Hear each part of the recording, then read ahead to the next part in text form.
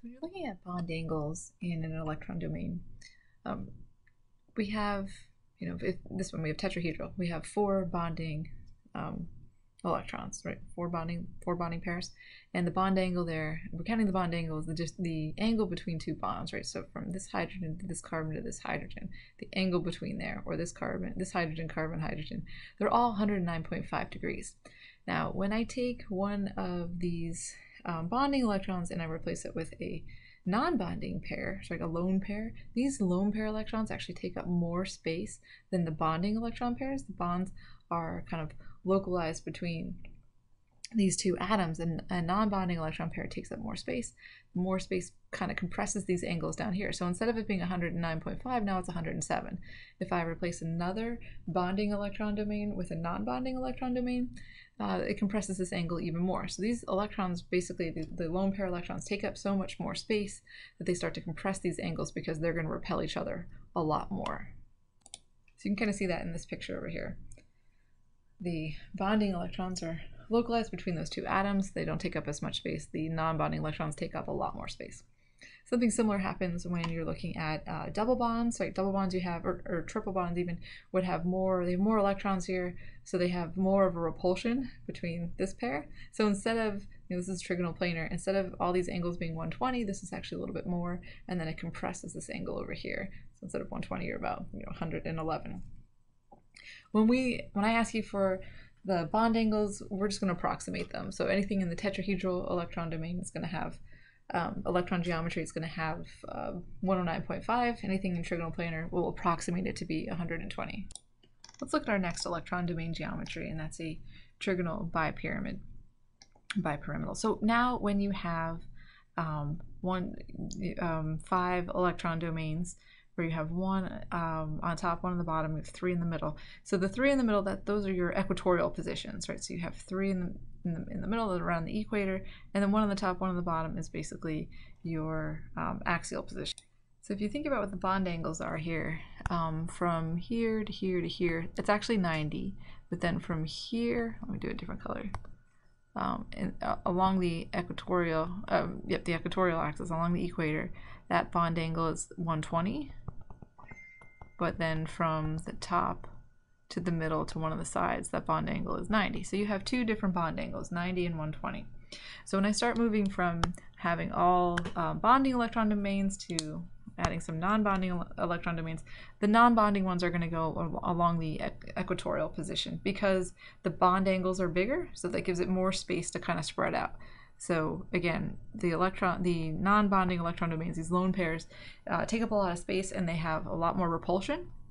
So they're going to compress these angles a little bit. And the whole goal of this is to get um, the electron domains as far away from each other as possible. So if they can arrange themselves um, so that the lone pairs are in you know, like 120 degrees from something else, then that's better than if it was 90 from everybody. So bottom line, uh, when you start removing these electrons and you're going through this process of going from like five, five bonding to uh, four to three, whatever we have, they're going to come off of the, uh, the equator.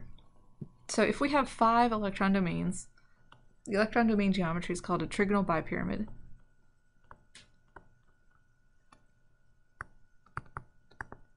Oops. Trigonal bipyramid. So like there's three things in a row, right? It's basically you have like three things in uh, one, two, three, and then you're gonna have one on the top and one on the bottom. So it's like having a trigonal planar and then a um, uh, like a linear atom kind of like stuck through it. So what do we have? So if we had five bonding domains and zero non-bonding domains, that the electron domain geometry, again, they're all going to be trigonal bipyramid, but when you don't have any non-bonding domains, when you don't have any lone pairs, the molecular geometry is the same as the electron domain geometry, so the molecular geometry here is just going to be trigonal bipyramid, or bipyramidal, that's fine.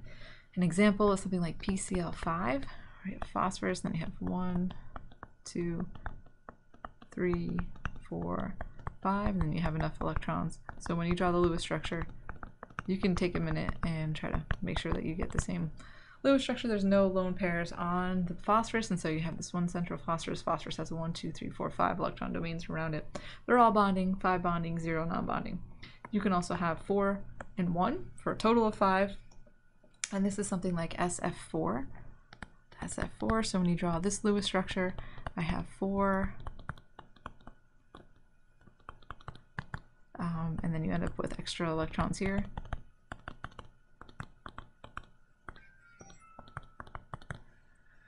All right, and this is called a seesaw.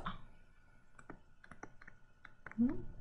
Or sawhorse, either way. So if you kind of think about this on a playground, right, if you have something that kind of looks like that, right, where you have these lone pairs that you can't see over here, but they're still forcing the electrons to occupy a certain position in space.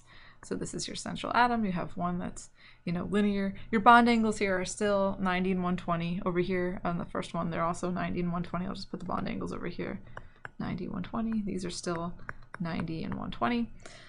Um, that's a seesaw. You can also have three and two. So if I'm looking at this now, I'm going to remove two from the uh, from the equatorial position. And if I had something like CLF3,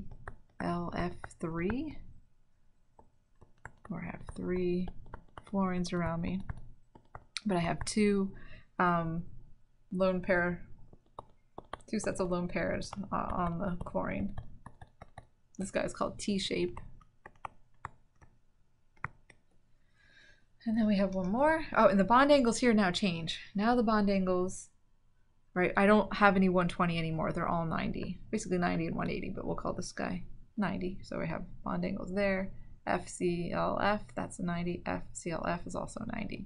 And then the FCLF on this way is 180, but that's just 2 times 20, 2 times 90. The last one, I had 2 and 3.